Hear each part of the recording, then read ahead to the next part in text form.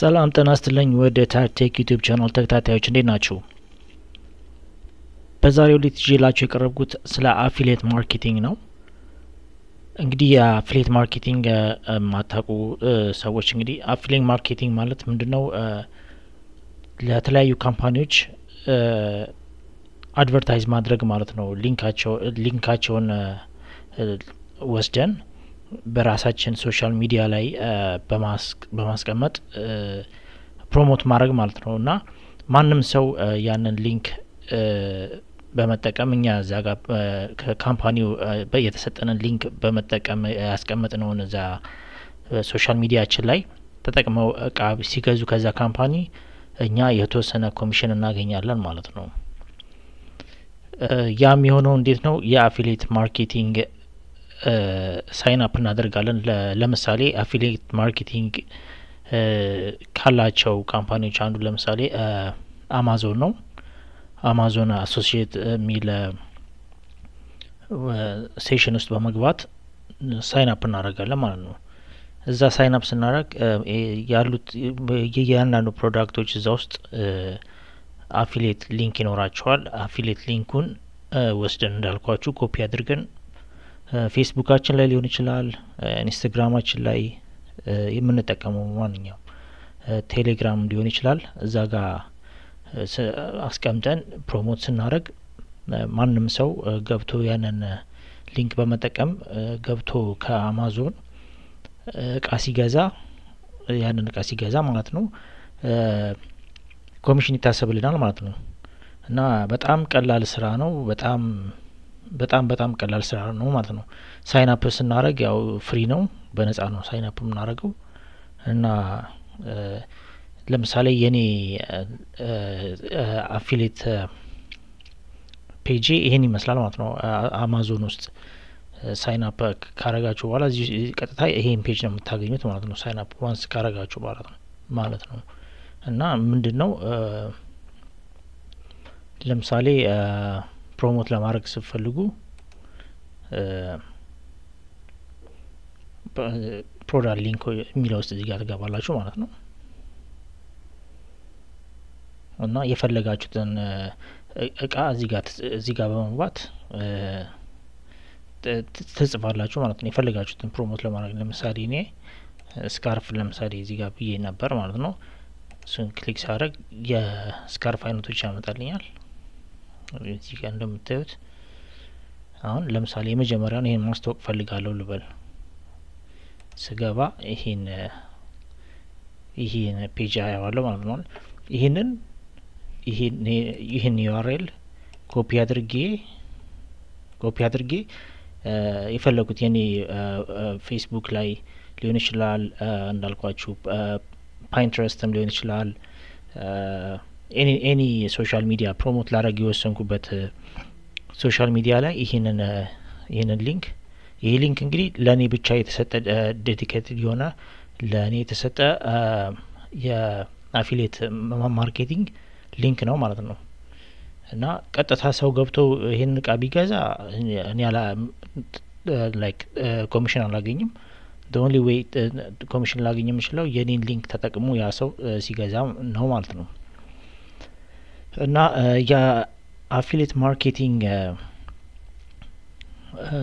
ትልቁ ጥቅም ምንድን ነው? በቃ once ይህንን link አስቀምጠን ሰው ያንን link ተጠቅሞ ከገባ ኮሚሽን ይታሰብልናል ማለት ነው። ያው sign up ስናደርግ እንዳልኳችሁ እንደ ማንኛውም business sign up ስናደርግ ያው አካውንታችንን ምናምን እናስገባለን ማለት ነው። ወይም ደግሞ PayPal ም ከሆነ በ PayPal ይከፈለናል። so በ PayPal በኩል እንዲከፈለን ማድረግ እንችላለን።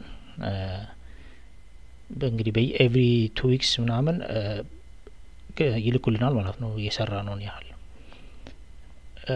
ሌላው እንዴት ነው የ affiliate marketing ሌላ ከአሁን ለምሳሌ ከአሁን እስካሁን ያሳየኋችሁ የአማዞን ነው። ከአማዞን ውጪ እንዴት affiliate marketing ከሌላ company ዎች ጋር እንዴት መስራት እንችላለን ብላችሁ ካሰባችሁ ሌሎች እንዴት ማግኘት እንደምንችል አሳያችሁ። ለምሳሌ Best Buy አለው። Best Buy Best Buy Best Buy dot com ብላችሁ ስትገቡ የ Best Buy ን website እዚህ ታገኛላችሁ።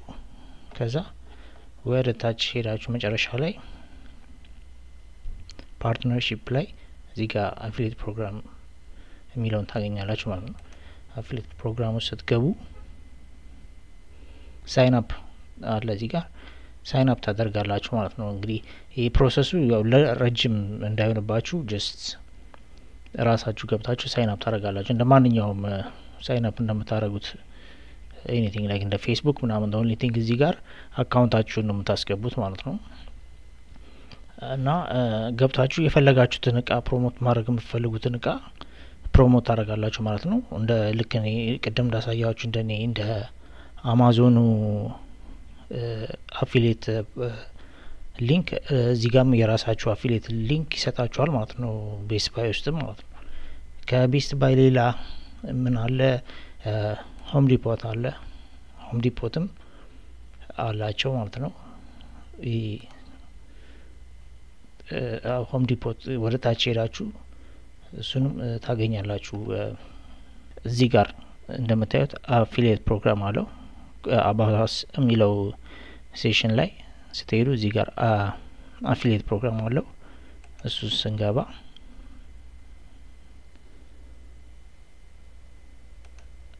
sign up አድርጉ ይለናል ማለት ነው።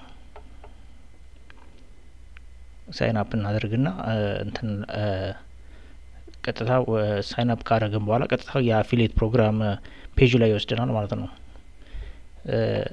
ከዚህ ሌላ አሁን እነዚህ ከነዚህ ሌላ በነገራችን ላይ እስካሁን ያሳየኋችሁ አማዞንም Home Depot ም Best Buy ም ዝቅተኛ ነው ኮሚሽናቸው ማለት ነው። ለምሳሌ አማዞን ገብቼ ባሳያችሁ ማለት ምን ያህል percent እናገኛለን ብለን ብላችሁ ታስባላችሁ።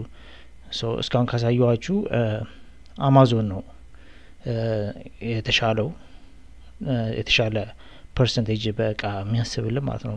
ምን ምን ያህል ያስባል የሚለው ለማየት እዚህ ጋር ገብቼ ላሳያችሁ። ለምሳሌ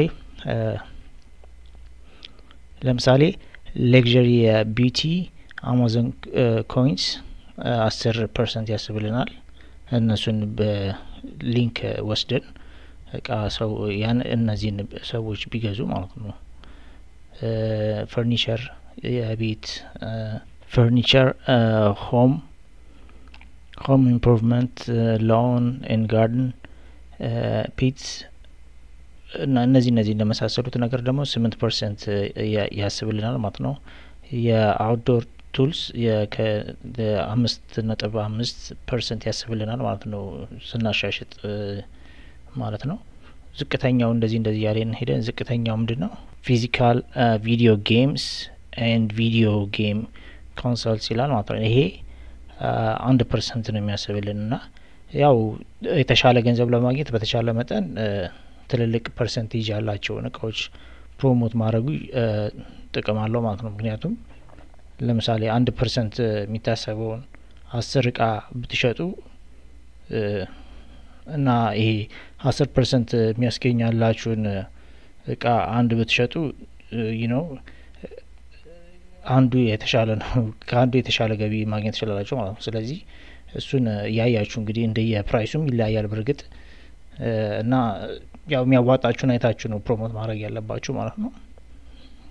ሌላው ሁለት አይነት የ affiliate marketing አይነቶች አሉ። አንደኛው ምንድን ነው? አንዴ ብቻ ነው የሚከፈለን ማለት አንድ ሰው ያን ያስቀመጥነው link ተጠቅሞ ሲገዛ ከዛ website ላይ አንዴ ብቻ ይከፈለናል። ሁለተኛው ደግሞ ያ ሰው በተደጋጋሚ በገዛ ቁጥር ኮሚሽን ይታሰብልናል ማለት ነው። እና አሁን ለምሳሌ የአማዞን ለምሳሌ ሀያ አራት ሰዓት ነው የ link ኣችን ለአንድ ሰው የእኛን link ተጠቅሞ በሀያ አራት ሰዓት ውስጥ ለምሳሌ አሁን ገባ አየ ከዛ በኋላ ሳይገዛ ቢወጣና ነገር ግን በሀያ አራት ሰዓት ውስጥ ተመልሶ ከገዛ ኮሚሽን still ይታሰብልናል ማለት ነው። እንደየ company ዎቹ ይለያያል። እሱ እሱን ያው cross check ማድረግ ትችላላችሁ ገብታችሁ የእያንዳንዱ የ affiliate ፕሮግራማቸውን detail ኡን በማንበብና ማወቅ ይቻላል ማለት ነው። እና የአማዞን የሀያ አራት ሰዓት ነው። የነ ቤስ የ Home Depot ም በሀያ አራት ሰዓት ውስጥ ነው የሚታሰብልን ማለት ነው። አንድ የ click አድርጎ እንዳልኳችሁ ተመልሶ በሀያ አራት ሰዓት ውስጥ ከገዛ still ይታሰብልናል ማለት ነው ኮሚሽናችን። ሁለተኛው እንዳልኳችሁ ደግሞ ያ ሰው በቃ የምን ጊዜም ማለት ነው አንድ link ኣችንን ተጠቅሞ እዛ ከገባና any time life time ማለት ነው እየገባ በገዛ ቁጥር ኮሚሽን ይታሰብልናል እና እንደዛ አይነት የሁለተኛው አይነት ማለት ነው recurring ይባላል። recurring commission affiliate commission የምናገኝባት ትልቁ የ affiliate marketing website ምንድን ነው? ClickBank ይባላል። ClickBank እንግዲህ ብላችሁ ስትገቡ ይህንን ይመስላል website ኡ እና sign up እዚህ ጋር ገብታችሁ sign up ታደርጋላችሁ። ያው የሚጠይቃችሁን ብዙ ያው information እዚህ ታስገባላችሁ ማለት ነው። ይህንን እንግዲህ የእናንተ አሁን እዚህ ቪዲዮ ላይ የማላጠቃልለው አንደኛ ረጅም ሰዓት ይፈጃል፣ ሁለተኛ ያው personal information ነው የሚጠይቀው እና ያንንም እንትላለ ማለት ነው እና ClickBank ያው የዓለማችን ያው ቁጥር አንድ የ affiliate marketing website ነው። ነገር ግን ClickBank ላይ ምን አለ መሰላችሁ link ኦቹን ፌስቡክ እንድንጠቀም አይፈቅድልንም ማለት ነው እና ያለን አማራጭ ምንድን ነው? ClickBank ላይ ተጠቅመን promote ማድረግ ስንፈልግ link ኣችንን የግድ የራሳችን የሆነ website create አድርገን እዛ website ላይ ነው promote የምናደርገው ማለት ነው basically እና ያንን ይመስላል እና ትልልቅ ኮሚሽኖች ነው ያሉት። በነገራችን ላይ ClickBank ላይ ትልልቅ ኮሚሽን ያላቸው ብዙ advertising ኦች አሉ። ዘጠና percent ምናምን ሁሉ የሚያስቡልን አሉ ማለት ነው እና በጣም የተሻለና ጥሩ ገንዘብ ለመስራት affiliate marketing ተጠቅሞ ሀሳብ ካላችሁ ClickBank በጣም recommend አደርጋችኋለሁ ማለት ነው። እንግዲህ ለዛሬ ይዤላችሁ የቀረብኩት ፕሮግራም ይሄንን ይመስላል። ያላ comment comment box ላይ ከታች አስቀምጡልኝ። ፕሮግራሜን like፣ share ና subscribe ማድረግ እንዳትረሱ። በሚቀጥለው ፕሮግራም እስከምንገናኝ ቸር እንሰንብት። ቻው